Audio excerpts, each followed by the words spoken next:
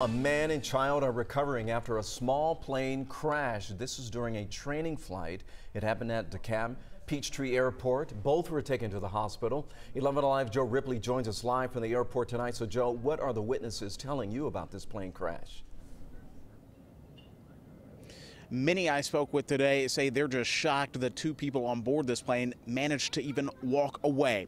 Take a look behind me at the wreckage here at DeKalb Peachtree Airport. You can see tarp covering the left side of this small single engine plane and a wing sticking up. DeKalb County officials tell me the plane went down around 2.30 this afternoon.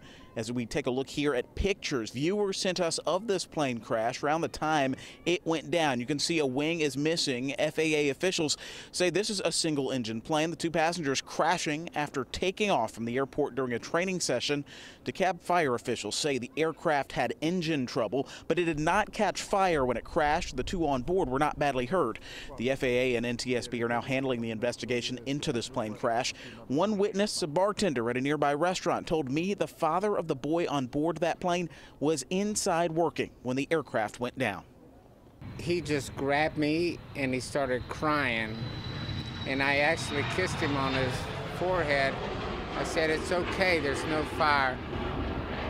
And I'm tearing up because it, it it's, it's scary. DeKalb County officials say while the two were hurt and hospitalized, they are expected to be okay. DeKalb Peachtree Airport, actually the second busiest airport in metro Atlanta. Folks here just thankful two on board this plane were able to walk away and nothing worse happened tonight. Yeah, we certainly are, Joe. Thank you so much.